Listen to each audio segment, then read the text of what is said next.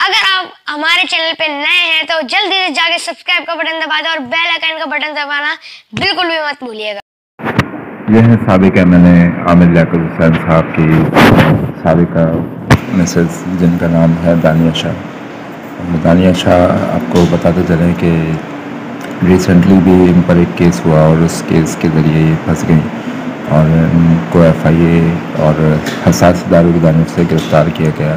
आमिर लियाकत के सबका एहलिया दानिया शाह को पेश न करने पर नोटिस जारी आज के ये जंग ग्रुप में ये रिपोर्ट हुई है और आपको मज़ीद खबरों से आगाह करते चलें कि कराची की अदालत ने मरहूम एम एन आमिर लियाकत की तीसरी सबका अहलिया दानिया शाह को पेश न करने पर नोटिस जारी कर दिए।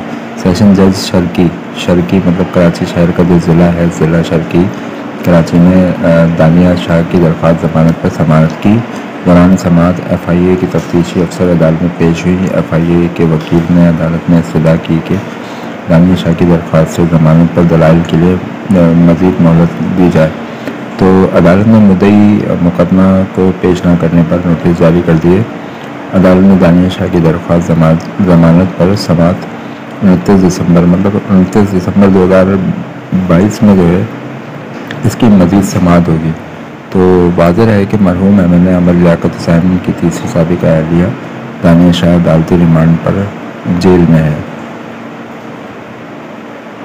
तो ये आज तक, आज की न्यूज़ थी और ये आप तक पहुँचा दी तो दानिया शाह जो है, जिन्होंने उनके आमिर हुसैन की जो पर्सनल वीडियोस उनको सोशल मीडिया पे वायरल किया था, उस पर पर केस चल रहा है और आगे भी इस पर कार्रवाई जा रही है, जारी है। और मज़ीद खबरों के लिए हम आपको अपडेट करते रहेंगे ऐसा ऐसा जिस तरीके से जो है, जो भी आता रहेगा।